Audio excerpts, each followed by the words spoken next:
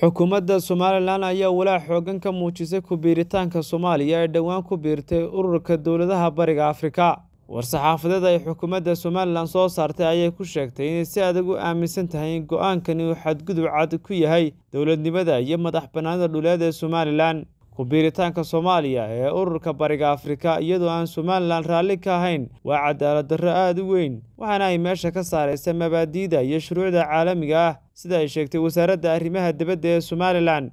War-saxaafadeedka ayaa u qornaa in somalilan ay raadinaysa xal cadaalad iyo sinaan ah oo ay ku hesho xaquuqdeeda aya ka tashiga iyo rabitaanka aqoonsi caalami ah. Sida lagu sheegay war-saxaafadeedka somalilan waxa ay si dhaba u rajeynaysaa in midowda afrika qaramada midoobay iyo dalalka xubnaha ka ah ururka bulshada bariga afrika ay dhowraan rabitaanka shacbiga somalilan iyo inay xaq u leeyihiin aya ka tashigooda ayna ku helaan aqoonsi buuxa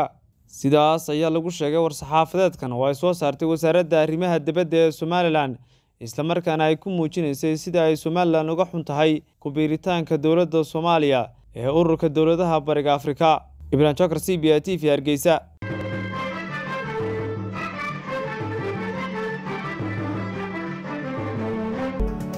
Waafi app waa application casri ah oo kaa qabtiraya adeegyada maaliyadeed sida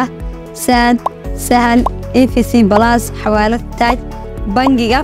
iyo adeega isgaarsiinta oo kuu suurtagelinaya inaad soomaaliya qiimo jaba ku soo wici kartid. Waafi app kala soo deg app storka ama balistorka